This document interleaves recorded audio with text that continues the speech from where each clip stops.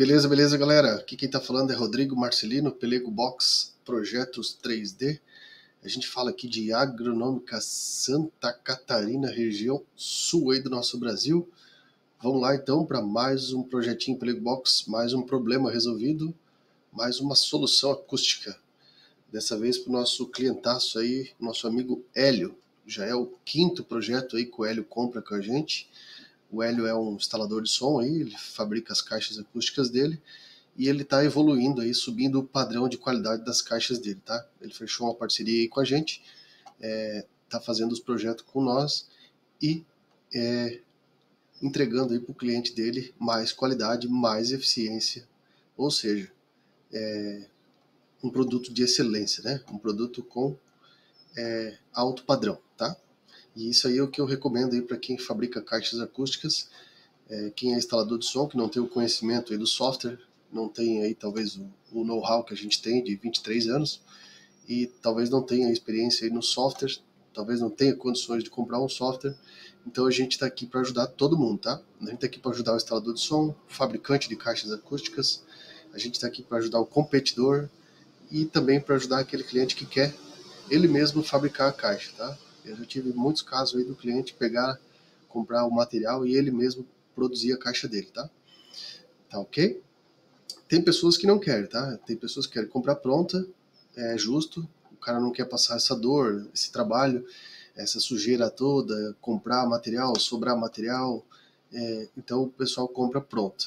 E tem aquele que é mão na massa, que quer fazer porque sente prazer, tem vontade, e aí a gente está aqui para ajudar. Ou seja, a gente vende um projeto personalizado do zero. Tudo aqui é feito do zero. Quando o cliente compra, a gente manda um, um link.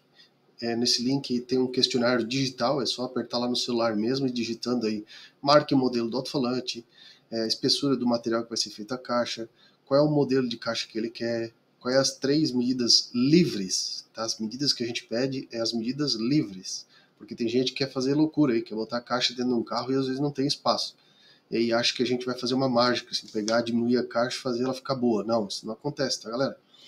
Tem que tomar muito cuidado. Volta e meia vem cliente aí querendo mágica. Mágica, eu já falei, eu não faço. Se for para fazer uma caixa dentro de um carro aí que vai ficar pequena, exprimida, eu acho que não vale a pena nem gastar com o projeto porque não vai ter resultado, tá? Então, o primeiro princípio de uma caixa de som é espaço, ou na altura, ou na largura. A profundidade é interessante, sim, mas o mais importante ainda é a altura e largura, porque a gente precisa abrir os dutos. Nesse caso aqui, ó, o Hélio vai utilizar dois alto-falantes de 15 da Eros, é, o modelo E15 SDS 2.7K, 4 ohms. E ele vai liberar aí 2.500 em cima de cada um. Então a gente fez um ajuste no duto. Ele escolheu uma caixa de ataque, tá? Ele queria uma estocada forte e uma pancada forte, né? Cria o alto-falante frontal e vai utilizar um MDF de 15, então ele escolheu a caixa aí com rampas e reforços estruturais, tá? Ok? Então, vamos lá, bora pro projeto. Quem quiser um projeto, comprar um projeto com a gente, aqui embaixo tem o telefone aí no rodapé, tem o link que cai no nosso WhatsApp, tem o link para o Instagram, tem o link que leva para o Mercado Livre, tem o link que leva para o nosso site para conhecer todos os nossos produtos. São mais de 183 projetos que a gente já fez nesse um ano, tá? Também quero agradecer aos mais de 1.120 inscritos que a gente tem. Quero agradecer aos quase 300 clientes que a gente já conquistou nesse um ano aí, tá? Muito obrigado, gratidão a todos e vamos embora, tamo aí. Então, vamos lá, Hélio. Vamos partir do princípio que tu já cortou todas as peças. O PDF aí deu 12 páginas coloridas, cada uma especificando uma peça, cada detalhe. Então, tu corta todas as peças, risca elas, né? Faz marcações nelas Ó, tipo essas aqui são as laterais, então é a página é, 3. Tá? Então, é, página 3, laterais. Aqui tu, tu sabe que é a parte de baixo, aqui é o reforço estrutural. Tá? Lá, na, lá na, no PDF tu consegue identificar, daí tu faz uma marcaçãozinha aqui, ó. Tá? Ou põe a medida aqui e aqui, também já vai te ajudar. Resumindo, conversa com a peça. Eu sempre dizia para o meu funcionário, né, quando eu fabricava caixas acústicas, tem que conversar com a peça. Primeiro tu lê o PDF, analisa, mentaliza, foca, corta o produto, as peças, aí tu vai conversar com as peças. O que, que é essa aqui? Lateral, parte inferior, lateral, lateral, tá? E aí eu recomendo fazer essas marcações, ó, dentro e fora. Fora é o guia dos teus parafusos, dentro é o guia das peças, tá? Então, bora. A primeira peça que tu vai colocar é a parte inferior. Tá? A parte inferior tem as marcações lá das rampas quebra-canto e do reforço estrutural. Então eu vou tirar ela aqui para tu ver. Ó, aqui tá todas as marcações. Tu vai passar cola branca. Ó, vai passar colinha branca e vai colocar ela no lugar. Tu ajusta sempre pela frente, tá? Atrás não importa muito porque ninguém vai ver. Agora aqui na frente tem que ficar filé. Zero aqui, esquadreja, esquadreja aqui do lado. E agora vem aqui faz uns furinhos com a broca 3mm a cada 4, 5 dedos.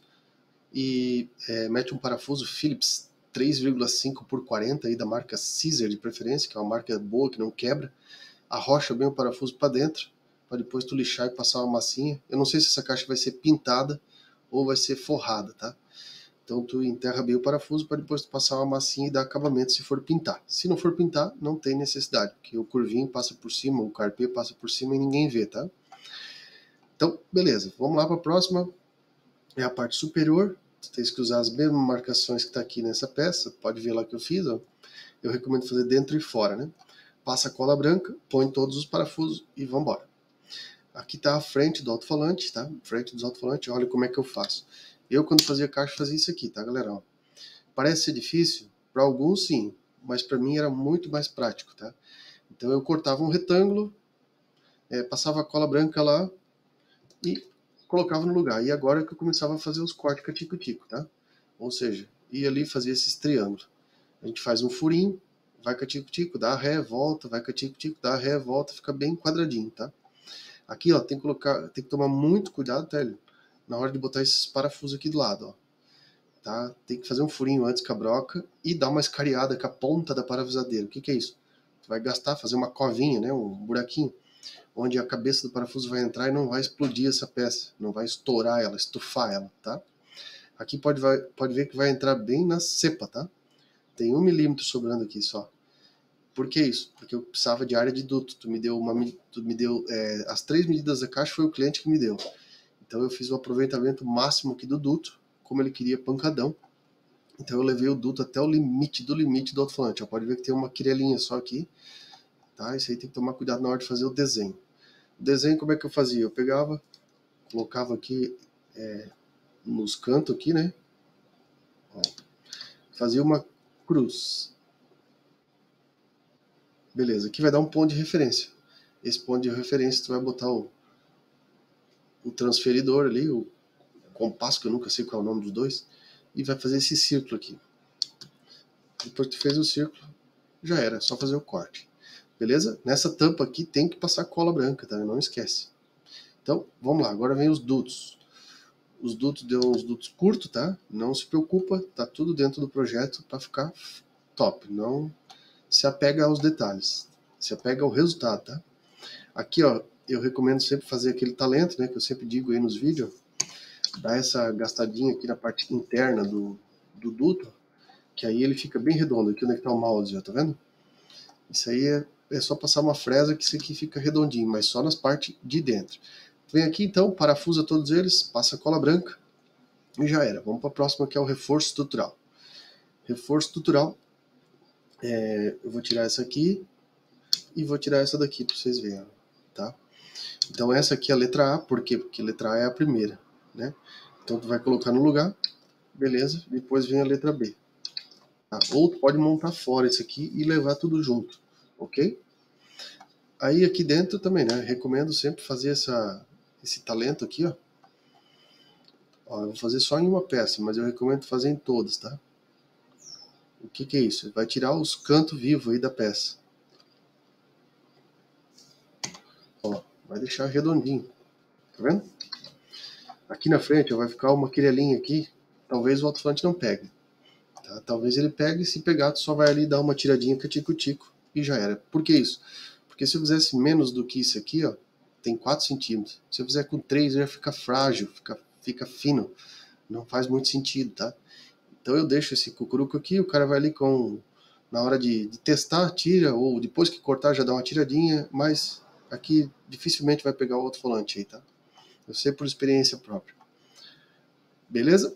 Agora pode passar aquela colinha com farelo dentro, faz o farelinho aí, né? Mistura bem com cola branca num pote. Pega um pincel e vai espalhando aqui por dentro. Vai espalhando aí dentro. Onde tiver emenda, tu vai espalhando, tá? Bem capricho, bastante capricho.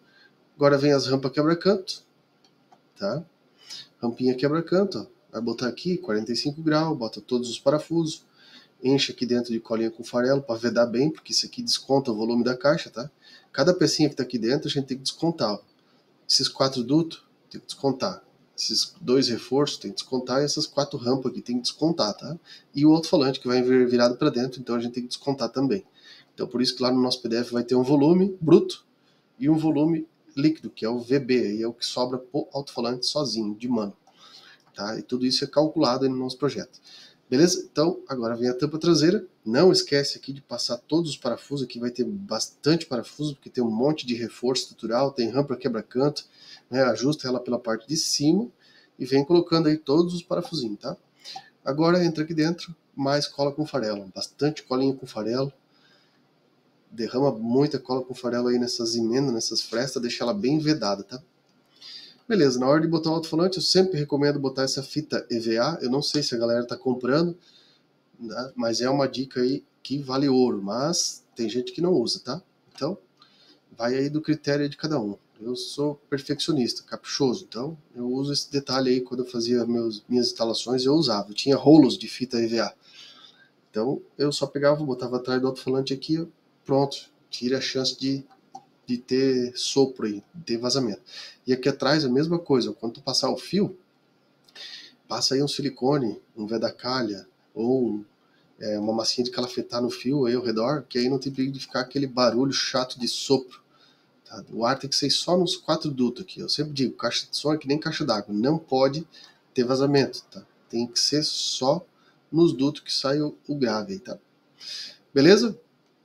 Então é isso aí, galera. Quem quiser comprar um projeto com a gente, vamos lá então. Esse é o nosso site www.pelegobox.com.br. Tem esse botão verde piscando aqui, bem grande. É só clicar nele que cai no nosso WhatsApp. A gente já faz um orçamento, tira dúvida, tá? Eu vou até um ponto, tá, galera? Tem gente que fica aí fazendo um milhão de perguntas e eu digo pro cara, ó, beleza, bicho, aqui para frente é depois do Pix, porque senão a gente perde muito, muito tempo com o cliente. Às vezes o cara não vai fechar negócio, já sei, isso é normal mas eu tô ali alimentando, alimentando, alimentando. Então, chega uma hora que eu digo, ó, beleza, aqui eu já passei um monte de informação, agora eu aguardo o Pix aí pra gente continuar é, conversando, tá bom? Então, aqui ó, é o nosso projeto, aqui tem o laudo completo do Best Box, onde a gente cuida aí da velocidade do ar, do funcionamento do cone. Aqui é onde a gente mostra o pico da caixa, tá? Também a gente mostra aí a sintonia, que para nós não faz sentido.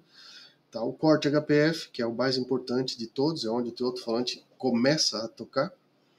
Tá? Tem uma sugestão do corte LPF, é uma sugestão, já diz aqui sugestão. Isso aqui não tem regra, o cliente vai cortar onde ele acha necessário. O pico, né, quantos dB que está dando, então se a caixa tem 3 dB de ganho, tu não precisa ir lá botar mais pico no amplificador, no processador, no crossover, no bus boost, a caixa já tem ganho, tá? aonde é essa frequência de pico, que também está aqui e está aqui, né? Mas para quem não sabe ler o gráfico, a gente põe aqui os dados, tá? A potência, né, que a gente é, que o cliente declarou que ia utilizar e a marca e o modelo do alto-falante. Tá? E aqui atrás as recomendações, a fita EVA, parafuso Caesar, as cola branca aí, que são cola de rejunte de madeira, e aqui os parafusos aí com porca-garra, tá?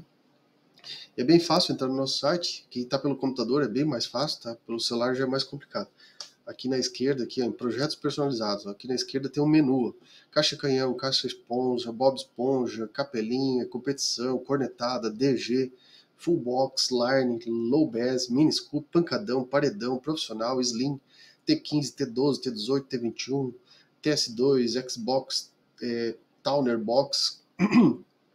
Então tem 183 sugestões de projetos aí que a gente pode fazer para o nosso cliente, tá bom? Então é isso aí, galera. Obrigado, Hélio, mais uma vez aí pela confiança, pela preferência. Quem quiser comprar o projeto então com a gente, é só chamar no WhatsApp aí. A gente passa a chave Pix depois o questionário. Depois do questionário, um resumo, ah, uma imagem aí com rascunho de papel e caneta, bem simples para aprovação. Depois de aprovado, a gente manda um vídeo aí. Valeu, um forte abraço.